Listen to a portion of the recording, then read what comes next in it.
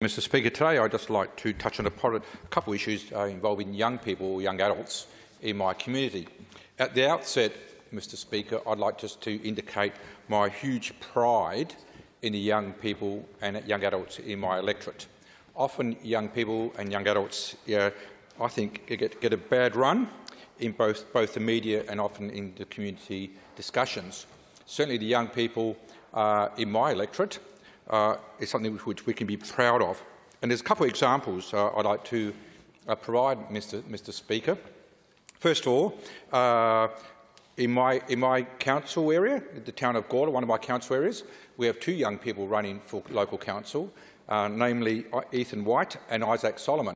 Uh, these two young men are even younger than I was when I first entered local government at the age of 21 back in 1981.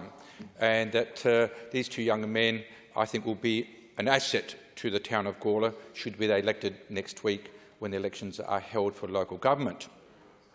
Mr Speaker, sadly though, their candidacy has uh, received some feedback which I think is both uh, unfair and, and also inaccurate. Uh, their lack of you know, experience has been brought as an issue. Say some people have made the comment, what would they know about being on a, on a council, etc. Well, what I can say, Mr Speaker, these two young men have done enormous amounts of work in the, in the community, have led enough, a number, uh, number of youth groups, etc. And they have actually been involved in community leadership for much more than a lot of adults have done in their time. And so I think these two people should be judged not by what they haven't done, but what they have done so far. And I think they'll be, they'll be a, a valuable addition to the town of Gawler. In addition, Mr. Mr. Speaker, uh, only last week I was invited to be a guest teacher at the Northern Adelaide Senior College for a, for a lesson. Um, and the, uh, I had to give a topic about the, the, pros and cons about certain social reforms. And my, my job was to speak about you know, the political process and the political issues and the different way of looking at an issue, etc. And I spoke with these young people. These are uh, stage two legal studies uh, class. And I, must, and I must say I was incredibly proud of this group. They were quite attentive, very asked a lot of questions, and so they were actually thinking about the issues I raised, and we had a quite a good discussion. Sorry?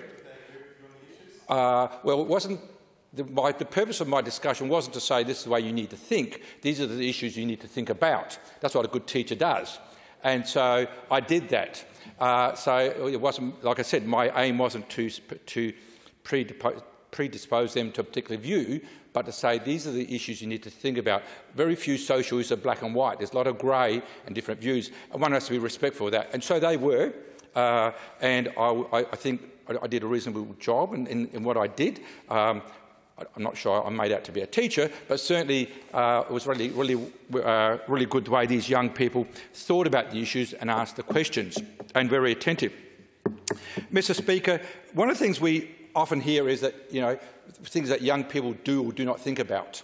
And it's interesting to say, interesting that on International Youth Day, on the 12th of August this year, I actually uh, held, uh, ran a survey amongst five colleges in my electorate. Uh, and the five colleges were the Northern Adelaide Senior College, uh, Mark Oliphant College, uh, District College, Trinity College and Xavier College, both government and non-government schools across my electorate and region. And the purpose of the survey was to find out what do young people actually think in, in my community, think about in my community. I've been told what they think about, but I thought I'd ask you ask them. And it was interesting to note, when you ask them about what they think about certain issues, and you break up the issues into personal issues, um, if you like, community issues, and also international issues. In terms of personal issues, uh, the, the, students, are, the main, main concern for them was actually cost of living. These are the things that young people are concerned about, cost of living issues, uh, and that doesn't surprise me. A lot of them work and also try to have a car, etc., etc. On community issues, biggest issue for them was the urban built form. In other words, the communities they live in in terms of infrastructure and the appearance of their communities. And the global issues, uh, the biggest issues were about climate change, but also about concerns about uh, uh, safety and conflicts in the, in, the, in the world today. So, Mr Speaker, when you think about it, these young people don't think too much different from adults. What are the issues which worry adults these days?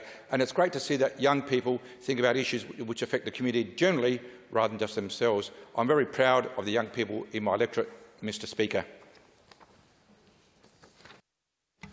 Leader. Thank you, Mr